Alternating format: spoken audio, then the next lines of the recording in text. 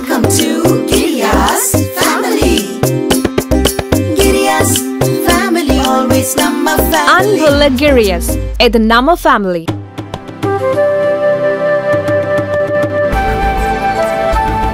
கப்பலில் சிக்கியுள்ள மாலுமிகளை மனிதாபிமான அடிப்படையில் விடுவிக்க முடிவு செய்துள்ளதாக ஈரான் வெளியுறவுத்துறை அமைச்சகம் தெரிவித்துள்ளது.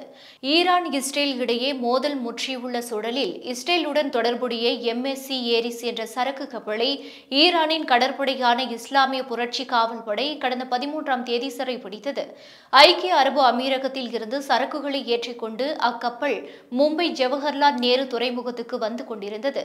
அந்த கப்பலில் இருபத்தி ஐந்து மாலுமிகள் இருந்ததாகவும் அவர்களில் பதினேழு பேர் இந்தியர்கள் என்றும் தகவல் வெளியானது. இதனிடையே ஈரான் ராணுவத்தால் சிறைபிடிக்கப்பட்ட சரக்கு கப்பலில் இருந்த பதினேழு இந்தியர்களில் ஒருவரான பெண் பணியாளர் ஆன் தேஷா ஜோசப் கடந்த பதினெட்டாம் தேதி பாதுகாப்பாக கொச்சி திரும்பினார். மேலும் கப்பலில் சிக்கியுள்ள பதினாறு இந்தியர்களுடன் தெஹ்ரானில் உள்ள இந்திய தூதரகம் தொடர்ந்து தொடர்பில் இருப்பதாக மத்திய அரசு தெரிவித்தது. இந்த நிலையில் சிறைபிடிக்கப்பட்ட கப்பலில் உள்ள அனைத்து மாலுமிகளையும் விடுவிக்க விடுவிக்க ஈரான் முடிவு செய்துள்ளது. மனிதாபிமான அடிப்படையில் கப்பலில் உள்ள மாலுமிகளை விடுவிக்க முடிவு செய்துள்ளதாகவும் இதுகுறித்து தெஹ்ரானில் உள்ள சம்பந்தப்பட்ட தூதரக அதிகாரிகளுக்கு தகவல் தெரிவிக்கப்பட்டுள்ளதாகவும் ஈரான் வெளியுறவுத்துறை அமைச்சகம் தெரிவித்துள்ளது. ஆனாலும் கப்பலில் சிக்கியுள்ளவர்கள் எப்போது விடுவிக்கப்படுவார்கள் என்பது தொடர்பான விவரங்கள் வெளியிடப்படவில்லை.